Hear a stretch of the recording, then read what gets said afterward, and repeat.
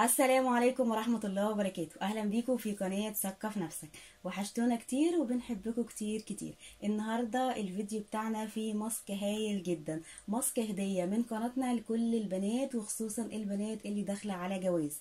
عملية إزالة الشعر عند أي بنت بتبقى مهمة تقيلة قوي. بتجربها بكذا طريقة بس النتيجة للأسف ما بترضاهوش. النهاردة معانا ماسك هايل جدا لإزالة الشعر الزائد والنتيجة هترضيكم جدا جدا جدا. بس تابعونا لآخر الفيديو عشان تعرفوا الماسك ده هنعمله إزاي ونطبقه إزاي. وقبل ما نبدأ الفيديو بتاعنا يا ريت اللي ما اشتركش في القناة ينزل يشترك ويفعل الجرس علشان يوصلوا كل جديد. هنبدأ الماسك بتاعنا النهاردة وأقول لكم على المكونات بتاعته. أول حاجة الجيلاتين لبن دافي كركم ليمون زيت لافندر. هنجيب الجيلاتين. الجيلاتين ده طبعا في ناس كتير قوي هتقول إيه الجيلاتين. الجيلاتين ده بيجي من عند العطار.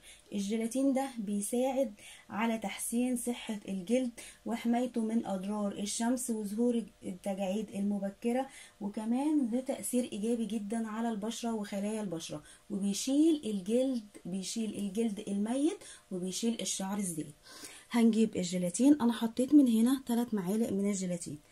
هنحط معاهم الأول الكركم شوية من الكركم. الكركم طبعا إحنا عارفين إن هو بيبيض وملك الوصفات هو الكركم.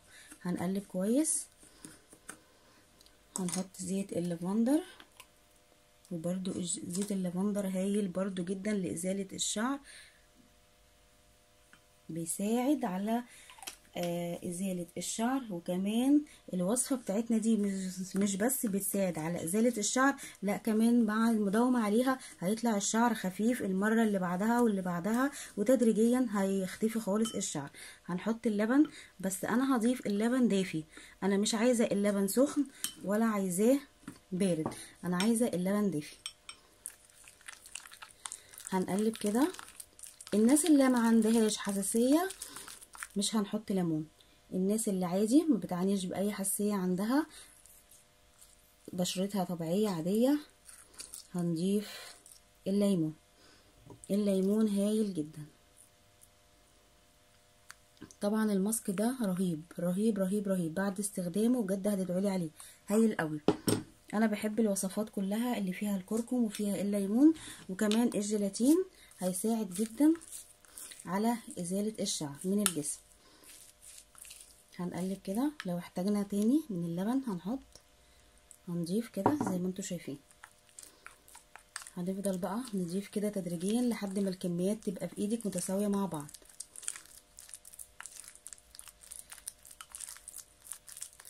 أهو هندمج المكونات سوا ويبقى معاكي اللبن دافي. لا هو سخن ولا هو بارد. أهم حاجة اللبن. كده دمجت المكونات سوا. لقيتها محتاجة إن إحنا نضيف شوية تاني من اللبن. هنضيف. لحد ما يبقى معانا الماسك بتاعنا لزج جدا. وهقول لكم ليه دلوقتي. أهو زي ما أنتوا شايفين كده ضفت شوية لبن. بدأ إن هو إيه يبقى طري كده معانا. أهو. بصوا.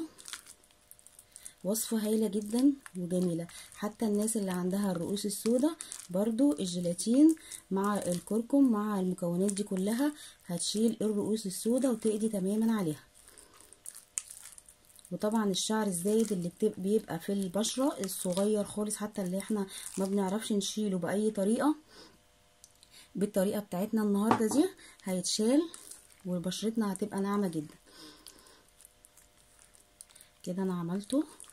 بقى بالطريقة بالشكل اللي أنتوا شايفينه ده. ماسك كويس جدا وهايل قوي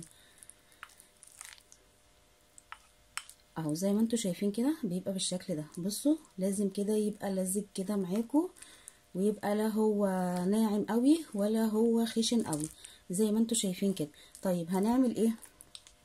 هقول لكم هنعمل إيه. هنغسل وشنا كويس قوي وننشفه كويس وبعدين بالماسك بتاعنا بتاع النهارده ده نعمله على البشرة.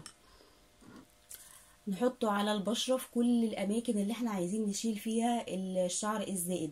كل المكان على بشرتنا. هنحطه كويس قوي ونسيبه لحد ما ينشف على بشرتنا. في ناس ممكن ينشف عند على بشرتها بعد عشر دقايق وفي ناس بعد نص ساعة. إحنا هنسيبه لحد ما يجف خالص على البشرة بتاعتنا هيبقى على بشرتنا شبه القناع. إحنا مش هنغسله لما نيجي نشيله مش هنغسله إحنا هنشيله زي ما نكون بنشيل قناع كده من على وشنا. تمام يا حبايبي؟ إن شاء الله هيجيب معاكم نتيجة هايلة جدا مش هيبقى فيه شعر زائد خالص.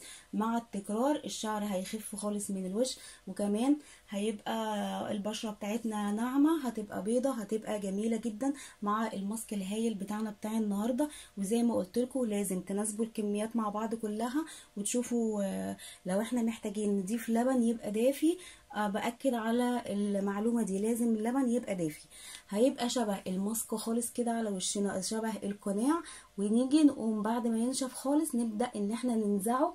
ولما نيجي ننزعه هنلاقي الشعر بيتشال معاه وشعر صغير خالص وهنلاقي بشرتنا بقت ناعمة وبقت صافية. مع التكرار هيجيب معاكم نتيجة إيجابية جدا. وياريت تستخدموه. كل ما يبدأ الشعر إن هو يطلع معاكم وهيجيب معاكم نتيجة مرضية.